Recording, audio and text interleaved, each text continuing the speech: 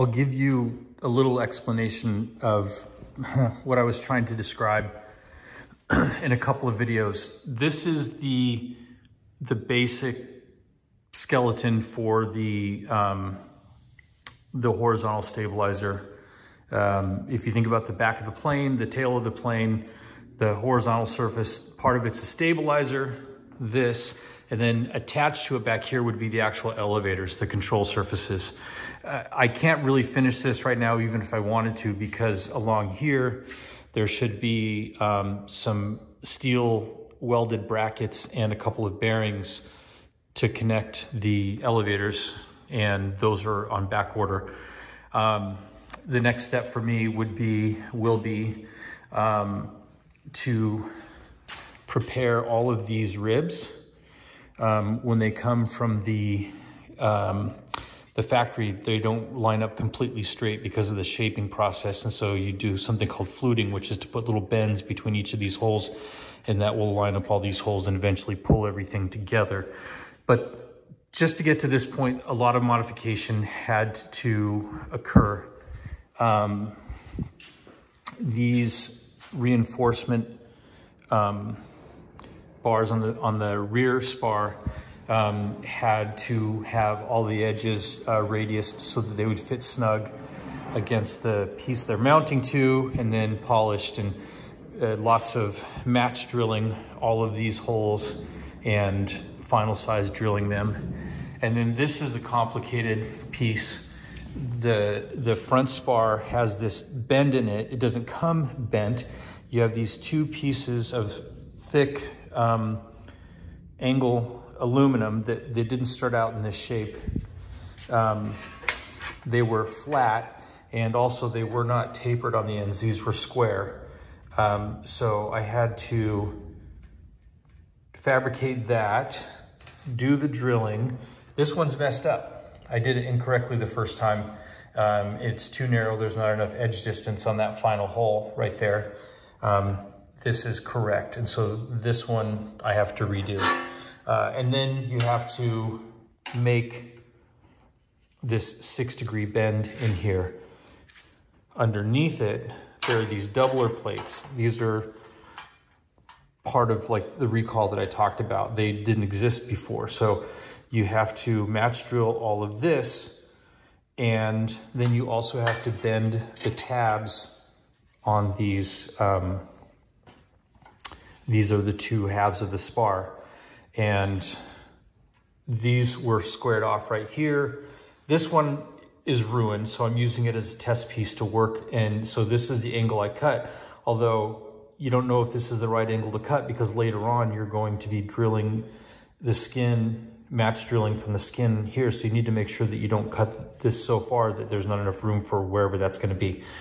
So this one I just did a rough cut. I think that this will ultimately be the line but I just did a rough cut so I have some room to work when I was making this bend here. I'm gonna disassemble this and show you how this one got destroyed uh, trying to follow these instructions for cutting the relief hole. So basically you have text instructions here, do this, this, this, this, um, and then call outs here on the big plans and you, Okay, part two. I've taken them apart. These are the two halves of the, the forward spar um, for the horizontal stabilizer. Um, I just laid them next to each other like this for comparison's sake, but obviously they would look like a mirror to each other. The instructions, these were, these tabs were not bent before. They were flat and there weren't these notches. These were completely squared off and these flanges were squared off as well. The instructions say to mark the bend line there, uh, and then it, it there's a call out to over here saying to basically, this is looking at, if you look at it right here, that's what we're looking at. So take those corners off, but it doesn't give you any dimensions how to do that. And so it's better to save that for later instead of just guessing because you don't know where this hole is right here yet to get the correct edge distance, which is what they're talking about right here. You have to have the correct edge distance right there. Uh, that's one thing. But more importantly, in how I screwed this thing up was I tried to follow this instruction um, to, and it says first drill a number 30, which is a number 30 is uh, an eighth inch, um, almost an eighth inch drill bit pilot hole there and then enlarge it to a quarter, which is a pretty large drill bit. Here's what happened. That ended up looking like this. And yeah, the edge distance, clearly, the minimum edge distance here should be a quarter inch from the edge of this. That's So that's gone. It's completely um, incorrect. And the, the normal quarter inch drill bit on this thin material that big just chatters like crazy and made a really terribly shaped hole. I should have, doing that, I if I was gonna do that, I should have used a step drill bit, which would have made a cleaner hole, but I didn't. So this is, part has been reordered. It'll be here in a few days, which is fine. Um, so what I ended up doing was more research on it and the, the relief hole or notch in this doesn't have to be that big. It has to be a minimum of an eighth inch for this thickness of material. So what I ended up doing was just the doubler that's gonna live here, I put the, I made it up the doubler and then I just copied that arc, drew that on there and then used a Dremel tool and file to to make these notches and these are these are satisfactory. They need to be cleaned up a little bit more but this is really what it should be. Um, they just need to be cleaned up. So that's that. This is one part 20 22 dollar part that i had to replace but i screwed up another one before that which is this reinforcement um, angle. And this is about an eighth inch aluminum. Um, you can see that I've put the bend in this really after I screwed it up because I screwed it up right here. This, these were square, this and this piece both. These were square pieces before, squared off on the ends. Um, and then this one also, if I can show you, this one uh, was squared up here as well. There was no cut there. This was squared on the top. So I had to do that, taper this, and it calls for, I, I forget, an eighth or a quarter inch radius on the end. And I didn't measure it correctly. And I've since learned a better method for doing that, which is to find a washer with a matching radius and just trace the radius around the outside of the washer. So I had to reorder this. This will be here tomorrow. Um, I actually might end up reordering this as well because I'm not happy with the bend. I'm going to talk to Vans Builder Support today and see the that's the bend line right there.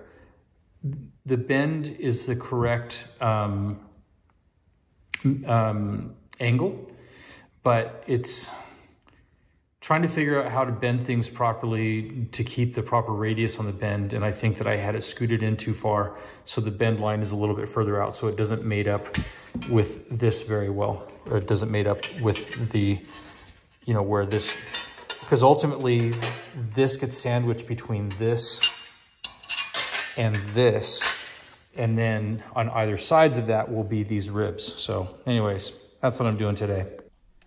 After all that blabbing, here I'm getting into recutting or or cutting um, the the replacement splice angle. This is the upper splice angle that I had messed up by not leaving a large enough radius on the end where you make the trim. So I'm going pretty slowly on the bandsaw.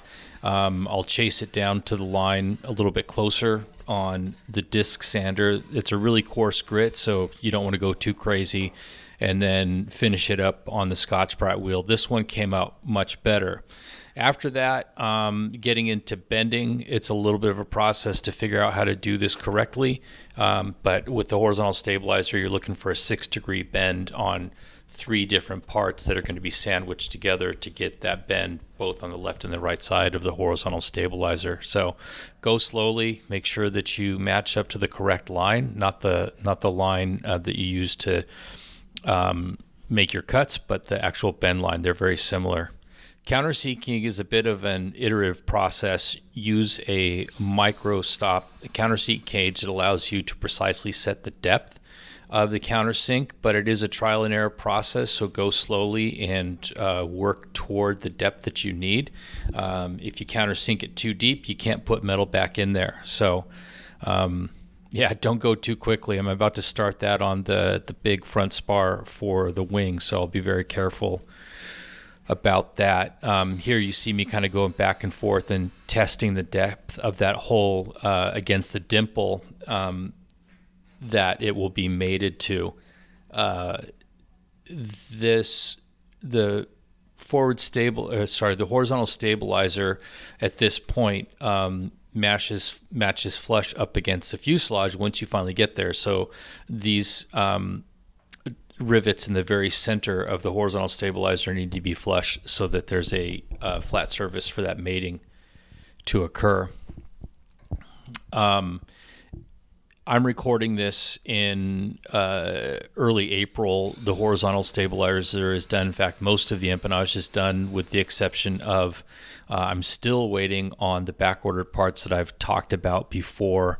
Um, I won't spoil it. Uh, we'll give you a little more information in further videos why that back order is taking so long. Um, but I'm just about to start on the wing kit. Uh, the rest of this video, really quickly, will show um, getting into the process of assembling the right side of the horizontal stabilizer. The two uh, inboard ribs um, that you see, where you see me working right now, those do not have any uh, rivet holes on the flanges. Or uh, so there's a process of assembling the skeleton and the skin, and then making some measurements and some cuts on the forward. Um, the the forward rib, the one that's kind of at the the pointy end of the horizontal stabilizer, uh, match drilling that to the spar, and then match drilling that to the rib behind it, um, which will mate between the forward spar and the aft spar. And then once all that's put together and clamped in place, then you can match drill the holes um, to the skin. So uh, this is a pretty involved process, being that it's the first piece that the plans tell you to work on. Um, I know that a lot of people opt to begin with the vertical stabilizer. Um, it is a much, much simpler piece and it will give you a better feel for all these metalworking techniques before you get into really cutting and bending and making trims and ultimately probably making some mistakes that will require you to replace parts. So that's that for today.